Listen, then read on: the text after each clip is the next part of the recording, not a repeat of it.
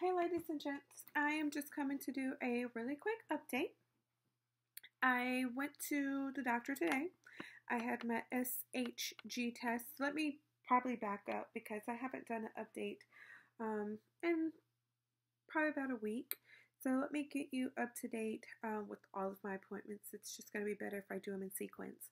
I went to the doctor on September the 3rd and had my ultrasound. I did the ultrasound. Everything looked great.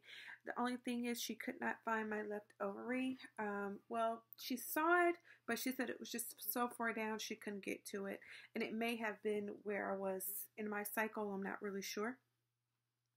Um, then I went back to the doctor on cycle day 8, which was on September the 8th, which was Monday. And I had my HSG test. I'm sorry, my eye just started to burn, and I'm not sure why. I had my HSG test. That test wasn't so great. The results were great, but the feeling wasn't great. I found out on that date that I have a partial of my right tube, and whereas the left side had very mild cramping, my right side, I don't even know if you want to call that a cramp. I I screamed out because that was that pain was ridiculous. And maybe I'm just not pain tolerant, but that was ridiculous. My sister said that as long as I didn't have tubes, that it shouldn't be too bad. So I was not nervous at all. But yeah, apparently I do have a portion of a tube. And I today I went for my SHG tests. And today is September the 9th, Wednesday, which is my cycle day 10. I went in and had that test and everything was great. She said my uterine cavity looks gorgeous. So that's a great thing. She didn't see any problems. Everything looks perfect. Um, they, she did want to check on my ovary again, the one that wasn't, they couldn't get quite get the um, position of the way that they wanted to when I was at my appointment on September 3rd. They was able to see that one a little better. And she said that, you know, it may have just been where I was in my cycle. They did find a small fibroid today. She said, you know, she's not going to mess with it. She's not going to bother it. She's going to leave it as is um, because it's not in my, um, it's nowhere near my uterine cavity. So she'll just leave it alone because it's not causing any issues and it won't be a conflict. So I have another appointment on September the 18th at 1 p.m. And when we when I go to that appointment, we'll discuss the treatment plan, what her suggestion is, um, and we'll go ahead and discuss the calendar as far as when we'll start everything with getting the eggs frozen. So that's pretty much it. I'm really, really, really excited. I seen Javon on Sunday, and when I seen him on Sunday, which was the 7th of September, we prayed together. He prayed over me. It was, I love when he does that. I'm such a sucker for it.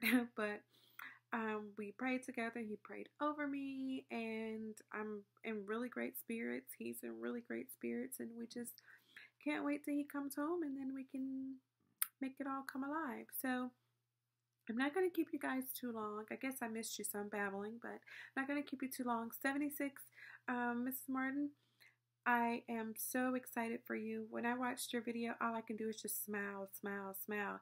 Even through the video, I just, I don't know, I feel such positive energy um, with your embryo transfer your two week wait, I know that the results are going to be in your favor. So I'm going to keep praying for you. Um, and I know that, you know, it, it's going to be great. It's going to be successful.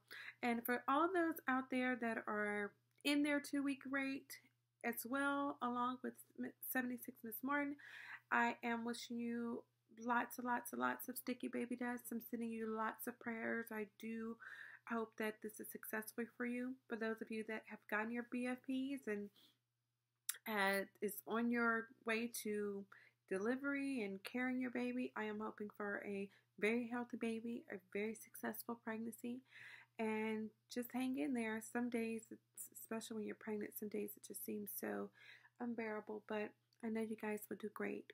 For those of you that um, is just starting your journey, just keep pushing at it don't, you know, get discouraged. Don't get disappointed. Try to stay in positive energy. That's really, really important that you stay positive so that you don't stress yourself out while you're going through your process because that's no fun. And for those of you that, you know, have had a failed cycle or still trying to conceive or anything of that nature, I do still also have you in my prayers. I know that someday you will bear a child. You will have a healthy baby and it may not be now when you want it, but you know, it's all up to Him. And just continue your relationship, continue your faith, and it comes with patience, it comes with trust, um, it comes with belief, and it definitely comes with faith. So, I hope you guys enjoy the rest of your week and have a great weekend because I'm not sure if I will come back on YouTube before then. Probably not. You guys probably won't see me to the 18th unless I I did do some recordings of my visit today, so I may load some of those just just because. Um, but that'll be all.